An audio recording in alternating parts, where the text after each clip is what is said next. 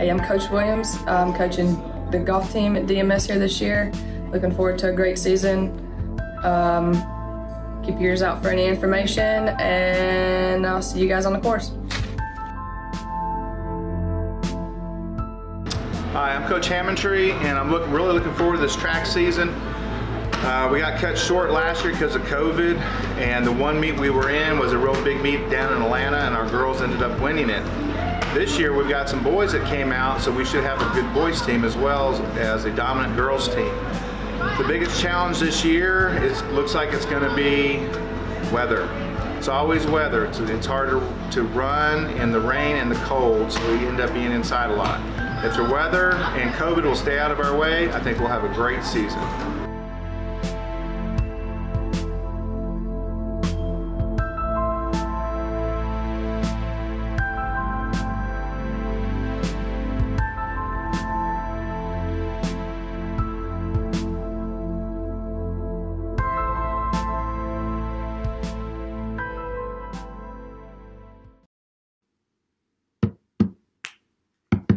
And now, ladies and gentlemen, the moment you've been waiting for DMS Spotlight!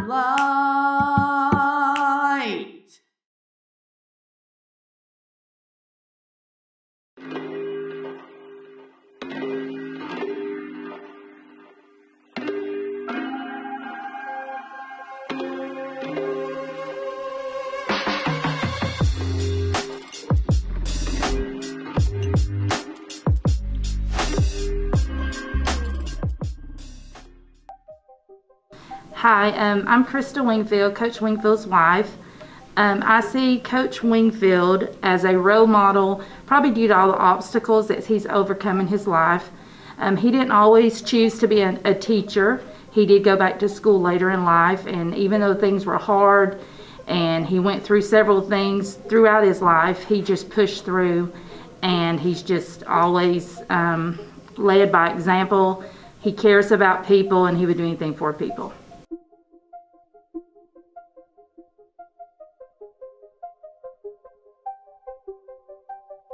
Well, the reason I became a teacher is, just to be honest, it was like a childhood dream. I never really seen a lot of African American teachers. Uh, most of the teachers I saw were Caucasian, they were female. Um, I didn't have a male teacher until I got to junior high school. So it was just something that I thought, you know what, I want to try that. So that's the real reason that I really want to be a teacher.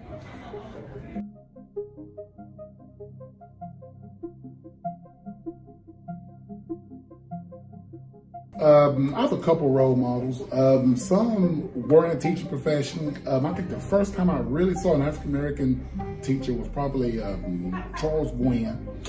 That was, I think I was in the sixth grade or seventh grade. That was um, junior high school. Then I met um, Marcus Starling. I knew him from my eighth grade year. He's also one of my coaches. So seeing these guys just kind of made me say, you know, this is possible. You know, I kind of think if you can see it, you can be it.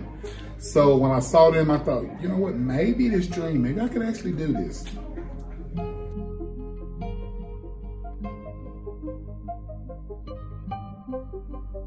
Uh, first thing I say is don't give up on your dreams. Even if you don't see people that look like you doing the things that you want to do, that shouldn't be a barrier. You should try. Um, don't just fall back on, you know, don't um, don't fall back on, I guess, some of the stereotypes. Um, you know, being an athlete or being an entertainer. Nothing wrong with these things.